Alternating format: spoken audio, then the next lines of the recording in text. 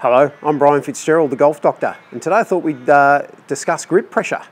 It's one thing having the perfect grip, it's another thing learning what tension we need to use with that grip. So stay tuned.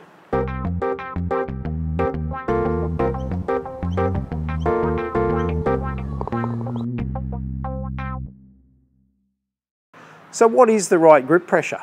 The great American golf coach Harvey Penick used to say that you should grip the club as if you're gripping a baby chicken. You've got to let it breathe, but you don't want it to escape. So that's one, one opinion. Another opinion I've heard is that you should unscrew the toothpaste cap off, off a tube of toothpaste and you should grip it without squeezing toothpaste out of the tube. That's another idea. Another one that I use quite often with my students is that you should be 3 out of 10 for grip pressure. So if 10 is as tight as you can grip, and zero is as light as you can grip, three out of 10's about where you should be. What does that feel like? So here's a good little exercise to see what that feels like.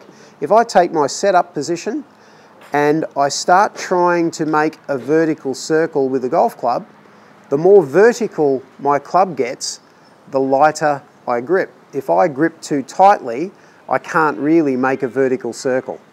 But if I relax it, suddenly I'm getting the club a lot more vertical. I can go back the other way if I want to.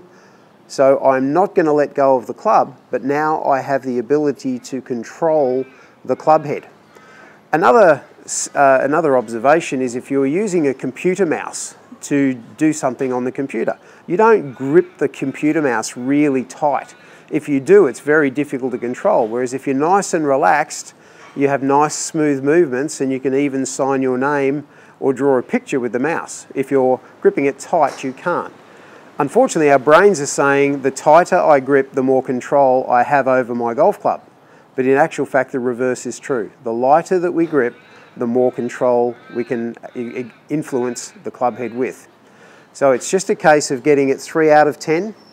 Not a bad little warm-up uh, exercise or part of your pre-shot routine just to do that. You may even see golf pros doing this sort of thing in their warm-up routine or their uh, pre-shot routine into a shot. It just helps to relax the hands.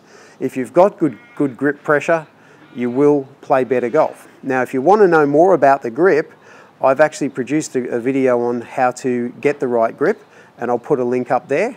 Uh, really work hard on, get, on, on that grip pressure. So even if your grip is bad, if your grip pressure is better, it'll still work better. Obviously, I want you to have a good grip. So keep working on that, keep practicing, and uh, I'm sure you'll find you get better results. Thank you for letting me help you with your golf. I'm Brian Fitzgerald, the Golf Doctor.